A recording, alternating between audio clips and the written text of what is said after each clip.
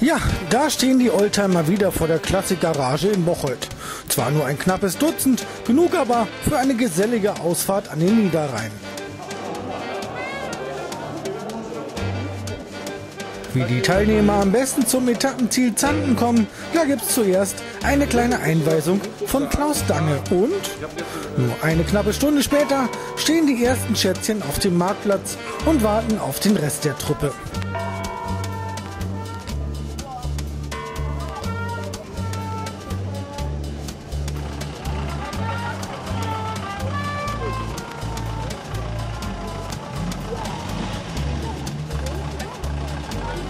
Die aber lassen auf sich warten, denn ausgerechnet auf der Durchfahrt steht ein Krankenwagen im Einsatz. Zum Glück ist das Problem schnell gelöst und auch die restlichen stoßen dazu.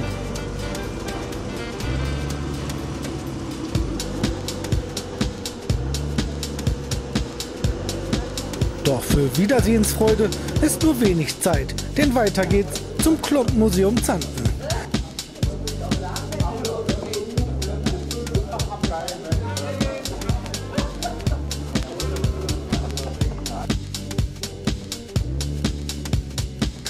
Stadtführer Georg Wodnik wartet auch schon und erklärt, was es mit den Holzschuhen auf sich hat und was da so alles drin steckt. Heute zum Beispiel unsere Ausfahrtteilnehmer. Und los geht's durch die Zantener Innenstadt. An die Dinger müssen sich die meisten erst einmal gewöhnen. Aber nach einer Zeit geht's dann und weiter.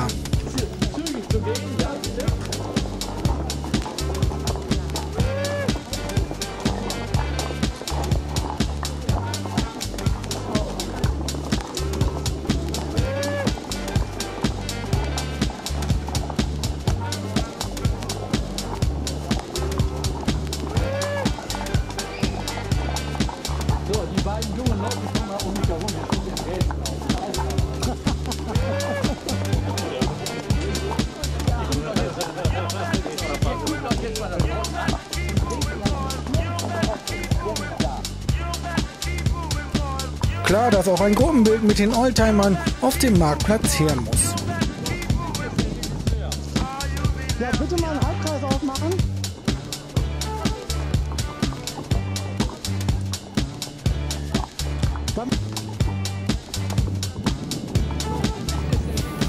Aber die Klumpentour ist längst nicht vorbei. Denn mit seinen Dönkes über Churchill, die alten Römer bis zur Nibelungensaga ist Georg Wodnik noch lange nicht am Ende.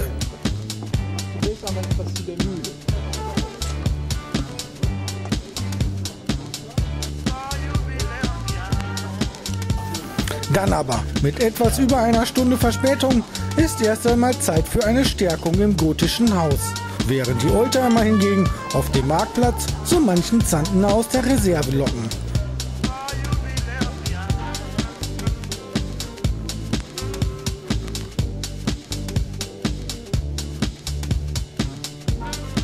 Dass die Autos hier überhaupt stehen dürfen, ist übrigens eine große Ausnahme.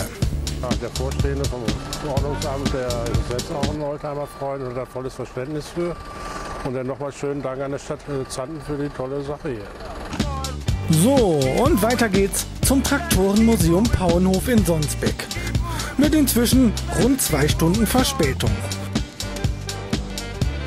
Und so viele Traktoren, die übrigens allesamt betriebsbereit sind, haben etwa Didi Niemann und seine Jungs Felix und Jens wohl noch nie auf einem Haufen gesehen.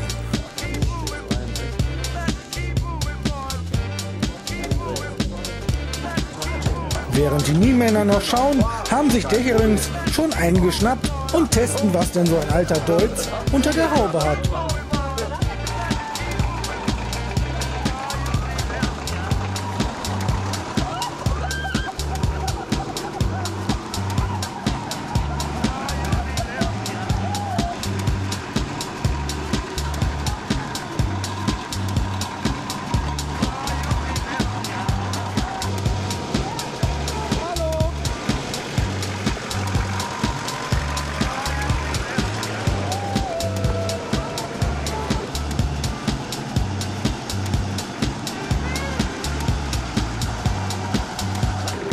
Klar, dass da dann auch die Niemänner mal ran wollen.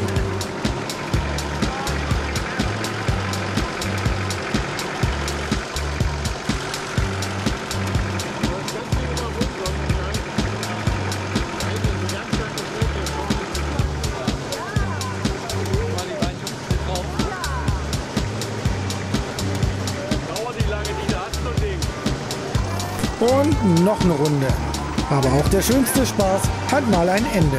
Denn das nächste Ziel ist dann ein Bauerncafé bei Kalka.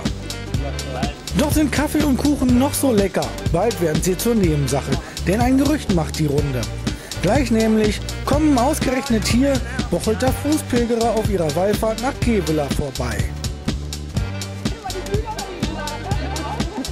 Und tatsächlich, klar, dass die da nicht schlecht staunen über die anderen Bochelter mit ihren doch etwas schickeren Fortbewegungsmitteln.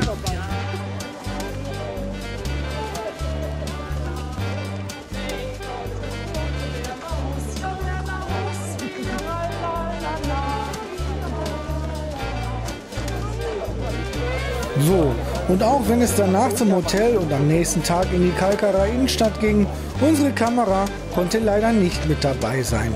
Interessierte allerdings können nächstes Jahr mit von der Partie sein, denn dann wird die Tour voraussichtlich wieder im Programm stehen. Mehr unter grenzland-klassik.de